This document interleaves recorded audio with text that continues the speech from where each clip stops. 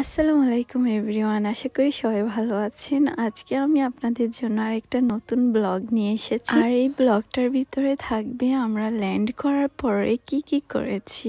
যদি আমি সবগুলা পার্ট বাই পার্ট দিয়ে দিব, আর এটা হচ্ছে সেকেন্ড পার্ট আমরা ল্যান্ড করতে সাড়ে এগারোটা বেজে গিয়েছিল, আর এই জন্য আমার আব্বু আম্মু চাচ্ছিল না যে আমরা এত রাতে আমাদের গ্রামে যাই, কারণ রাস্তায় অনেক রিস্ক হতে পারে। সো আমরা একটা হোটেলে উঠি আর ডিনারটা সেরে নিই। দেন আমরা একটু নিচে হাঁটতে গিয়েছিলাম, যদিও তখন অনেক রাত হয়ে গেছে, এই জন্য অনেক দোকান সব কিছু ক্লোজ হয়ে গিয়েছিল বাট কিছু জিনিস খোলা ছিল।